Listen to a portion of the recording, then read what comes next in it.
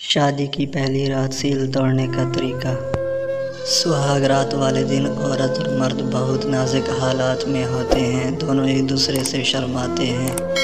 एक दूसरे से इस नाजुक घड़ी में मर्द ये सोचता है कि अब प्यार कैसे शुरू करें। मेरा मशवरा यह है कि शर्माना बिल्कुल भी नहीं चाहिए। पहले कमरे में जाते ही मियाँ बीवी इस तरह दो रकात नफिल नमाज़ शुक्राना की पढ़ कि मर्द आगे खड़ा रहे और औरत पीछे नमाज़ के बाद दोनों खैर बरकत आपस में मेल जोल और इतफाक़ इतिहाद की दुआ करें।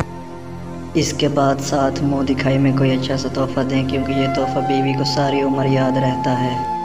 बेहतर है कि कोई सोने का तोहफ़ा दें, इसके बाद प्यार मोहब्बत की बातें करें।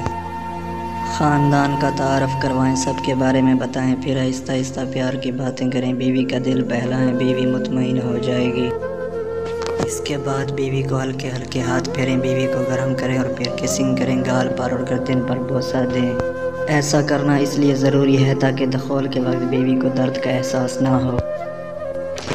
अगर सीधा दखोल कर दिया जाए तो बीवी को सिर्फ़ दर्द का एहसास होगा।